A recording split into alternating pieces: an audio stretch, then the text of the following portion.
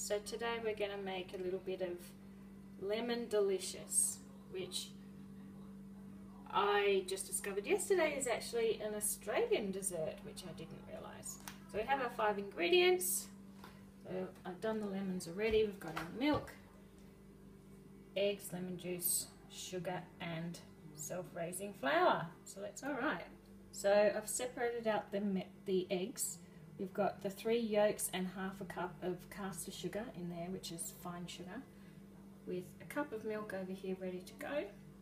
So I'm going to cream them together now. Right. So we've got the creamy looking sugar and egg yolks, and now we're slowly going to beat in one cup of milk. So just turn it on slow. Off we go.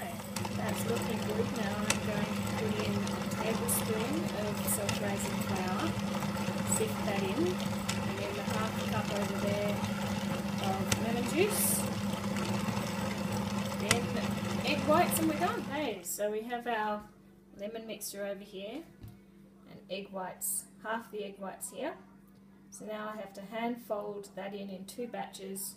Got two batches of egg white. So doing this one by hand so that it keeps it aerated. I think. No expert, but I'm guessing the um, machine would break it down too much. And then into the oven. So it's my first time making this. We'll see how we go. Okay, so the recipe says it's meant to look a little bit curdled, which that certainly does, but it says that is correct.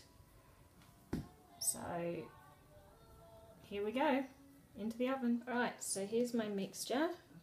Now we add boiling water halfway up the bowl into the pan, like this. Okay, so there we have the pictured one in the book. Here's mine, which probably should have cooked it for a second less, but it's not burnt burnt. And it's firm to the touch, which is what it's meant to be. So let's cut it. So there we have it. Came out beautifully. We've got the firm part up here, the cakey part, with our lemon sauce. I've served it over here with cream and it is beautiful. Sweet but zesty. Perfect. Warm.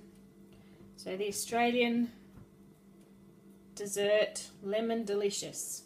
And delicious it, is.